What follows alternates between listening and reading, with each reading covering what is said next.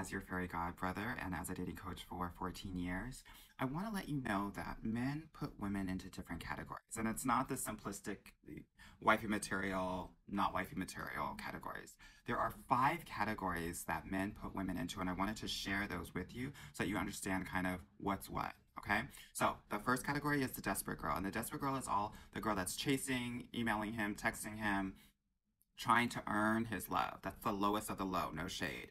And if if you don't know if you're this girl, if you are always initiating conversations, texts, and if the only reason that he's reaching out is because he wants something or needs something for, for you or is asking money, you're probably in the desperate girl category. That's category number one. Category number two is the good time girl. This is the girl that he hooks up with.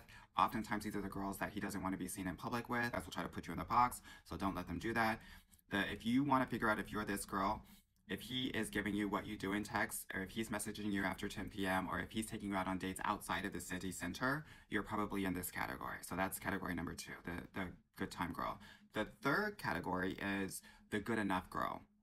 This is a tricky category because he's doing like the bare minimum and things are okay. He's not mean, he's not rude, um, but he's not doing the extra things. He's not, he's getting you gifts for your birthday, he's getting you gifts for Valentine's Day, but he's not doing the small and special things to put you over the top, to really value and cherish you.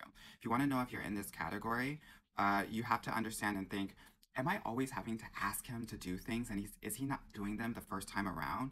If not, he is, he's probably put you in the category of a good enough girl because a guy that is like in love with the entire package is going to need to hear things once and he's just going to do them.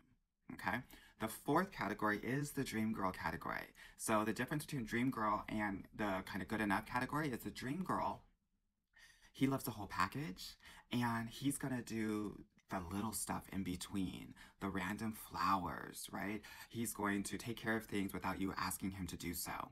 Um, the, the thing that you have to be aware of, and this is the category that you want to be in, is you want to make sure that you're not performing. A lot of girls will be in this dream girl category and he, he will want to do all of these things for you, but then you feel like, oh my God, I have to be some, some, this like curated version of myself and not my real self.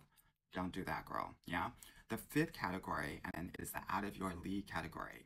Um, and this is where the woman comes from wealth, more education, um, has a bigger job or prestige than the guy, and he's doing everything that he can to be a part of that prestige to lift himself up.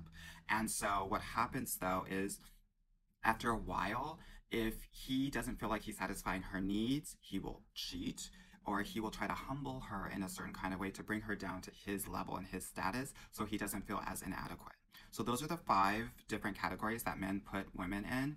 Um, please understand that if you find yourself in one of these categories that doesn't fully serve you, I can de definitely help you get out of it because there are deeper things happening that you're going to have to heal from if you want to level up. So book a call with me if you want, but I hope that this is helpful for you.